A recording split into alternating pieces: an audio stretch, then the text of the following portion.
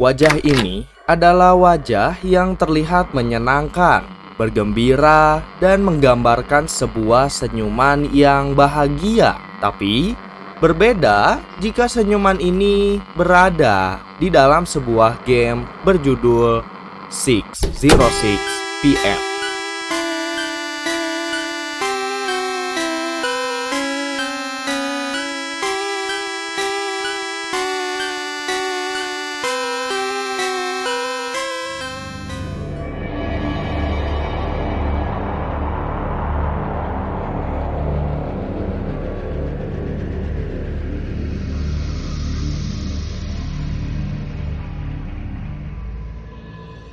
Oke, halo teman-teman Roblox dan Miminers.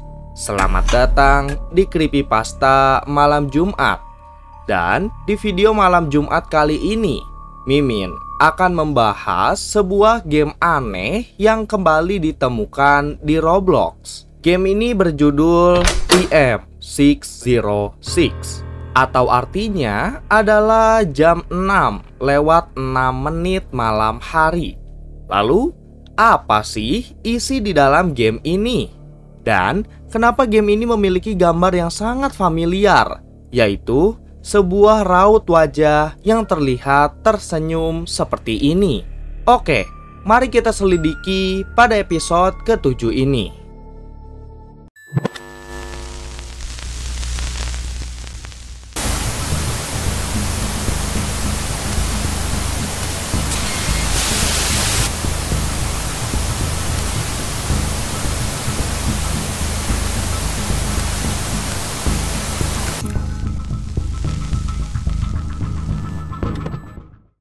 PM606 adalah sebuah game di Roblox yang memiliki ciri khas sebuah raut wajah bernama The Winning Smile.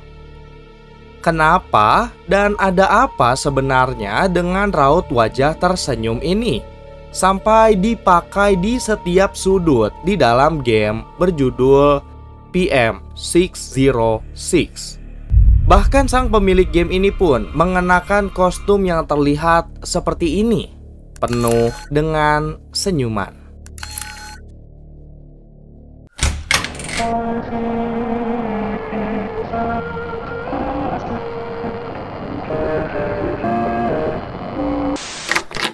PM606 diciptakan di Roblox pada tanggal 2 Desember 2020 dan menjadi populer di Roblox karena Flamingo, salah satu YouTuber Roblox terbesar, membuat beberapa video yang menunjukkan wajah bernama Winning Smile di beberapa videonya. Karena memang waktu itu Winning Smile ini menjadi salah satu update teraneh karena terlihat cukup menyeramkan. Game ini akhirnya juga ikut populer karena Flamingo mempopulerkan Winning Smile tersebut. Sebenarnya, game ini hampir sama seperti game pada umumnya. Dengan adanya level, labirin, parkour, dan lain-lain. Tapi bedanya, game ini 99% berisi dengan senyuman yang akan selalu menghadap ke arah kalian dengan gambar seperti ini. Ada yang normal, ada yang berganti warna, glitch, dan lain-lain yang mungkin akan kalian temukan di dalam game ini. Nah, game PM606 terinspirasi dari salah satu video aneh yang juga ada di YouTube dengan judul Winning Smile. Kalian bisa lihat bahwa di sini ada sebuah video yang diupload pada tanggal 24 Juni 2020.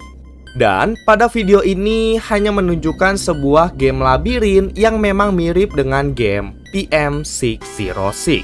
Di dalam video ini ada tulisan waktu juga tanggal yang berada di pojok kiri bawah. Waktu inilah yang menginspirasi game PM606. Oke, sebelum Mimin membahas semakin dalam tentang game ini, Mimin akan bahas dulu tentang siapa pembuat game ini. Seperti yang sudah Mimin singgung di awal video tadi, bahwa ada seorang akun bernama Smiling Winner yang memiliki karakter seperti ini, penuh dengan senyuman yang aneh. Ia memiliki grup Roblox yang juga aneh dengan nama Council of the Winning Smile. Grup ini berisi banyak sekali member, ada sekitar 24.000 orang menjadi member di sini. Oh iya, ada beberapa game yang juga cukup aneh. Dan satu lagi, bahwa grup ini memiliki link channel YouTube yang jika kalian buka channel YouTube-nya, kalian akan menemukan beberapa video yang sulit untuk dijelaskan.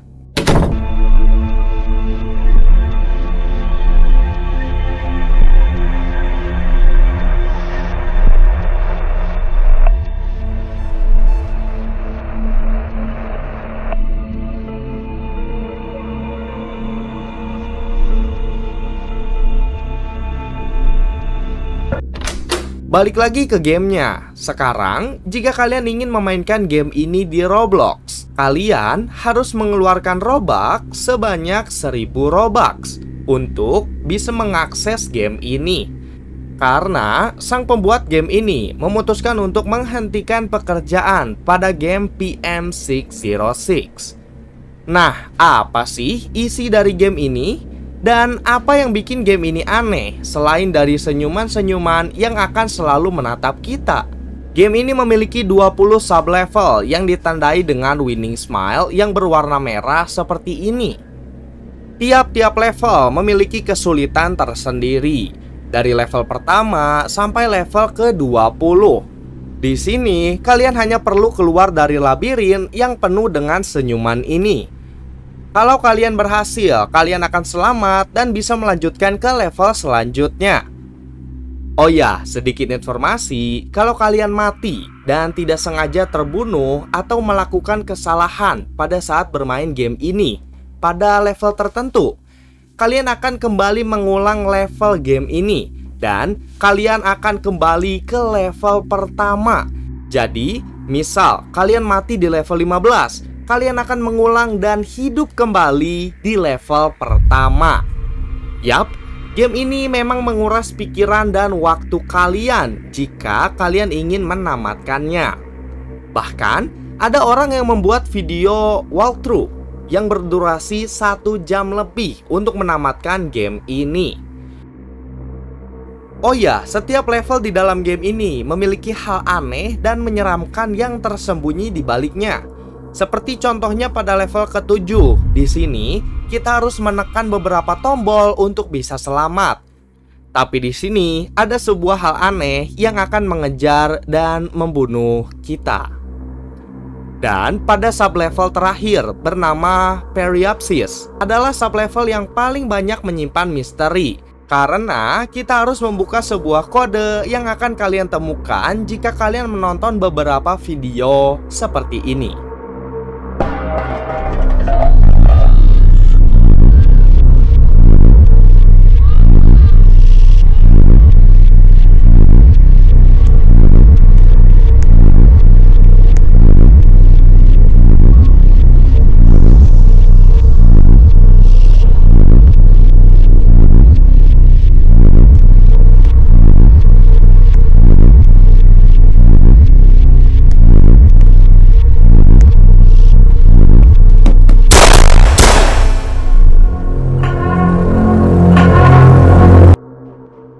Oke, Mimin sebenarnya ingin membahas semua sublevel dan ingin menjelaskan bagaimana cara menamatkan game ini.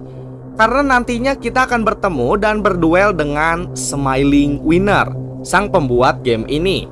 Mungkin kalau kalian setuju, Mimin akan membahas lagi tentang creepypasta ini di minggu depan.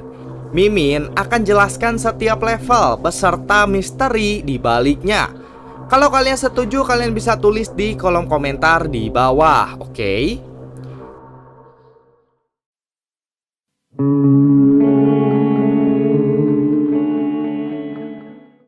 Teori di balik video ini, Mimin bener-bener masih bingung. Di sini Mimin gak nemuin penjelasan dan teori tentang apa maksud di balik game ini. Tapi Mimin bisa memberikan teori bahwa ini mungkin berkaitan dengan backrooms, sebuah ruangan labirin yang bahkan tidak memiliki jalan keluar. Dan game ini benar-benar bikin merinding apalagi kalau kalian nantinya harus menonton video-video aneh untuk mendapatkan sebuah kode. Nah, itu akan Mimin bahas di malam Jumat minggu depan, oke? Okay? Dan percayalah bahwa senyuman ini bisa membuat kalian merasa tidak nyaman.